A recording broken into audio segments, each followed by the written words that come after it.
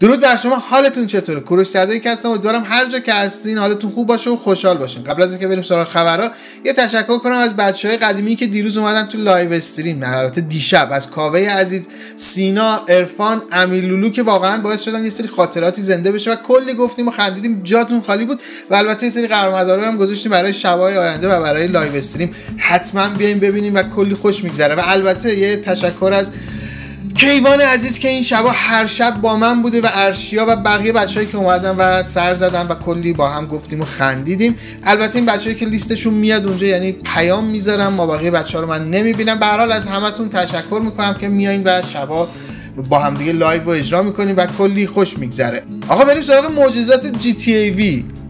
این بازی بیش از یک میلیون نسخه فروخته سال 2020 یعنی بیشتر از Last of Us دو و Animal Crossing این بازی با اینکه این همه سال تو بازار اواخر دوره PS3 اومد تو بازار بعد برای PS4 remaster شد و الان هم که PS5 اومده و هنوز این بازی داره میفروشه البته اینو در مورد Animal Crossing و Last of Us دو بگم که اینها انحصاری هن. یعنی مختص به یک کنسول هستن ولی خب این بازی multi platform ه اما اینو بهتون بگم که تو بریتانیا تو سال 2020 بعد از فیفا 21 که خب همیشه مشتری های خودش رو داره و متاسفانه همیشه چشم بسته میخرنش و بعد از Call of Duty Cold War رتبه سه فروش رو داشته در بریتانیا.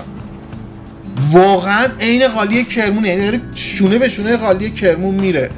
هرچی میگذره انگار پاخورش بهتر میشه. البته اینو بگم این بازی DLC های رایگان زیادی براش میاد و این باعث میشه که همیشه اون طراوت و شادابی رو داشته باشه که player های خودش رو حفظ کنه و پلیرهایی که این بازی ندارن تشویق کنه که این بازی رو بخرن. قهرمان 6 دوره تدریس کلاسیک دنیا تو سن 39 سالگی درگذشت. و گفتن یه فوریت پزشکی پیش اومد و ایشون درگذشته. عمر نسل ما خیلی کوتاهه نمی‌دونم چرا.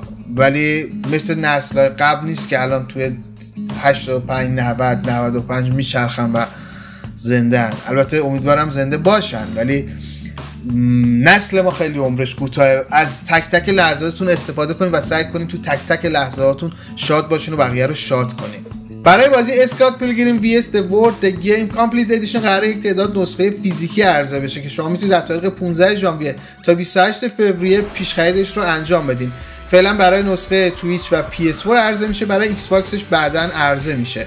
بازی هم یه سمت کاورش الهام گرفته از Sonic هستش در دو تا box استاندارد و box style قدیمی عرضه میشه که قیمتاش هم متفاوته. البته توی box style قدیمیشه تعداد آهنگ هم اضافه بر box style استانداردش داره.